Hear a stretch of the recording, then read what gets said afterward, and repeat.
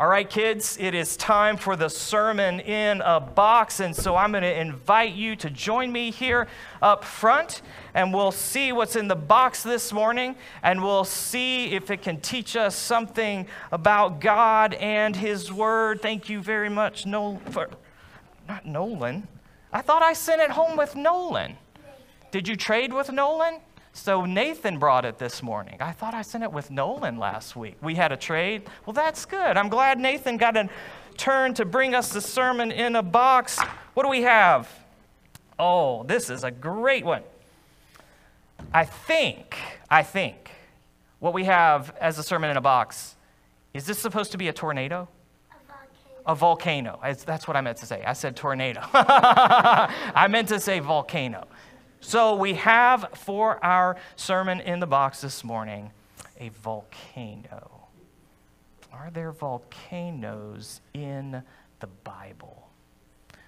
Yes, and there's an experience that's kind of like a volcano. There's a story about a mountain that's like a volcano. It's a mountain that's on fire.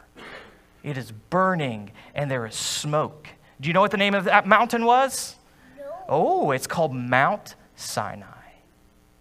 See, when God rescued his people from slavery in Egypt, he brought them out into the desert and he brought them to the mountain. And the mountain was on fire with God's presence. And do you know why?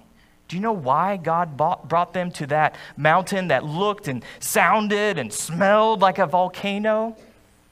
Well, he wanted to show them his greatness. He wanted to show them his power. And then also at that mountain, he gave them his law. He said, Here's how I want you to live your life in response to how great and how good I am. And when we come to God, we do come to a God who is greater than a volcano. But you know what? He is also good and He is also merciful. And even when we fail to keep the laws, the rules that He gave us on Mount Sinai, He forgives us and He welcomes us into His presence. So that was an excellent sermon in a box. Thanks so much. We need to send it home with someone else for next week. All right, let's send it with the Rajasekarans. We'll let you guys put something in the box.